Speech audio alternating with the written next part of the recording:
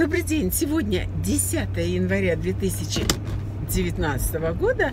Я нахожусь под огромнейшим впечатлением и хочу этим впечатлением с вами поделиться. Во-первых, хочу ответить э, на тот вопрос, на то возмущение, что ну прям все вот золотые ученики, вот прям золотые раз золотые. Ребята, есть всякие ученики. И вот сейчас я возвращаюсь из той школы, в которую помещены именно такая категория деток, которые учиться не хотят. Просто в российских школах они сидят рядышком вместе с теми детьми, которые заинтересованы учиться, и им мешают.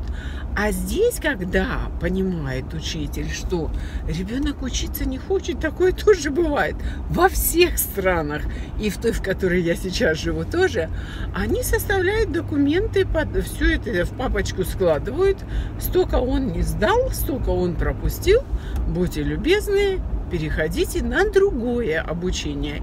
Не мешайте тем детям, которые учиться хотят, потому что вы тут балластом мало того, что сидите, вы еще и показываете пример другим, что можно болтаться, ничего не делать безнаказанно. Нет, безнаказанно не бывает. Мы вас выпинываем из обыкновенной школы, и вы выбираете, будете ли вы учиться из дома, будете ли вы учиться из школы, но онлайн, или вы будете учиться вот из школы под руководством преподавателя осиливать эту же программу. И вот та школа, в которой я сейчас была, она называется Academy, а в Дженксе, куда я тоже хожу, она называется Alternative, то есть альтернативная школа. Не хотите в обыкновенной, идите в альтернативную. И там программа, которую нужно освоить, и там экзамены, которые тоже нужно сдать.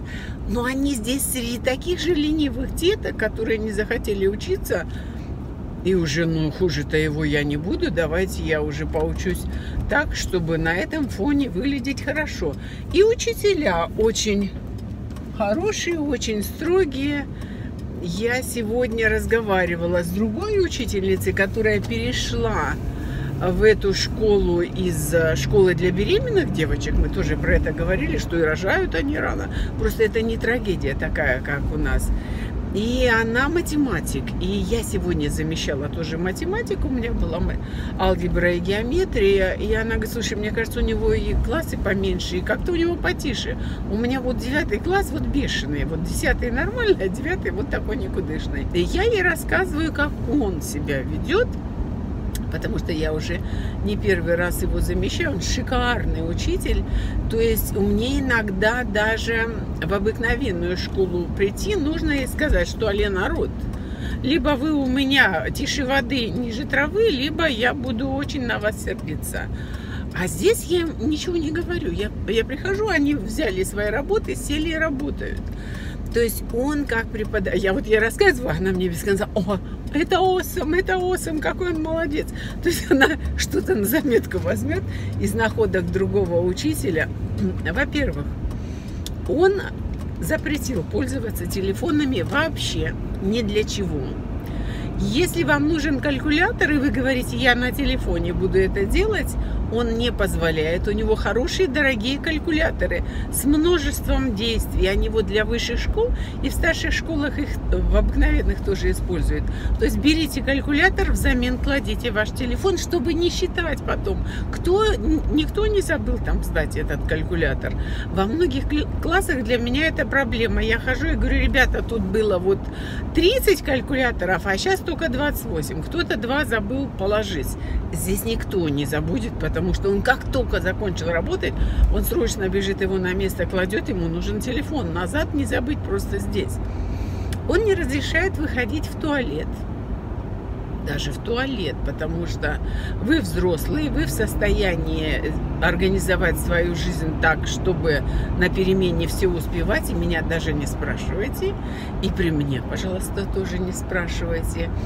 И в случае, если кто-то не сдал сегодня работу, даже не законченную, он ставит нолик поинтов.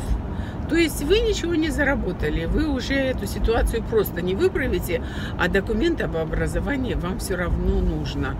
У него идеальный порядок даже среди тех детей, которые не хотят учиться.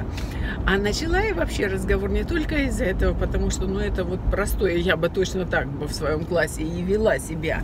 Может быть, про калькулятор я не сразу сообразила, но я не разрешала бы пользоваться детям телефонами у нас в этом году, вот именно с этого семестра, с этой четверти, в старших школах тоже закон приняли, и все ученики подписали, что они имеют право использовать телефон только в коридоре. В классе они его даже не достают. Наконец-то, сказала Галя, которая борется с этим давным-давно и безрезультатно. В Джинсе я могу конфисковать телефон, если он используется не по назначению. А здесь такого права у меня не было. И дети, конечно, могут там себя развлекать как хотят. А начала я потому, что сейчас последний час, у них два раза в неделю, проходит advisory, то есть какие-то мероприятия. Как правило, приходят лекторы какие-то, что-то им объясняют, что-то рассказывают, психологи с ними работают, социальные сотрудники. А когда нет ничего, они пытаются их чем-то развлечь. И вот сегодня ничего не было, и мы все пошли в спортзал, и играли в Crab Soccer. Вот так называется игра. Я никогда не видела, хочу вам рассказать. Я, вот то, что я увидела и какие правила я поняла, если кто-то надумает также деток развлекать, то вы зайдите уже, найдите условия этой игры, и либо им следуйте, либо свои собственные создавайте, потому что было интересно, во-первых, а во-вторых, я наконец-то увидела, как много детей в этой школе. Потому что у меня обычно, ну, от 5 до 15 человек в классе, и у меня всегда создавалось такое впечатление, что школа небольшая. А здесь я прихожу, и там три квадрата, да, три квадрата из детей. И я прикинула в среднем где-то порядка 50 человек в одном этом квадрате находится. Они сделали квадрат э, на полу сидя. Я пошла к учительнице спрашивать, а сколько же у нас детей? Вот она говорит, что-то порядка 160.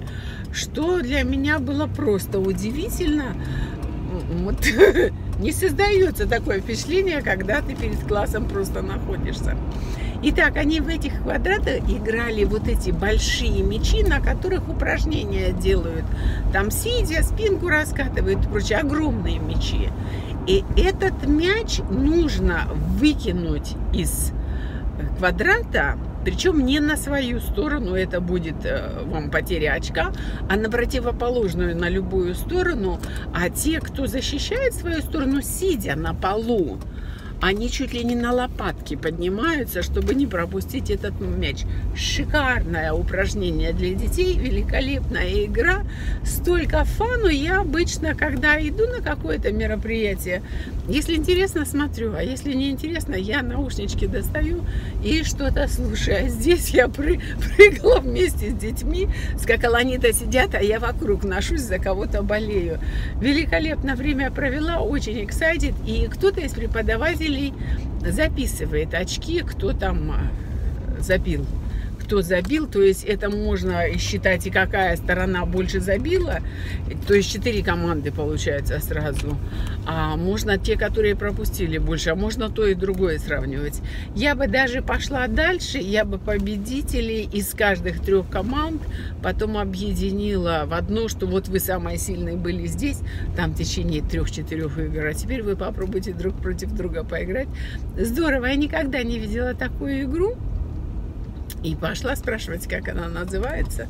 Поэтому, если заинтересуется, для летнего отдыха шикарно. Я так думаю, что это не мож, можно не только для 50 там, человек проводить, просто пошире посадить людей, но играют только ногами. То есть, если рукой, вот там было пару случаев, когда рукой отбили мяч, и они минус очко поставили, что руками ничего не трогай, вставай хоть на лопатки, но играй по правилам, играй только ногами. Здорово. С вами была Галина Смит. Сегодня самый лучший день. Всего доброго. Пока-пока.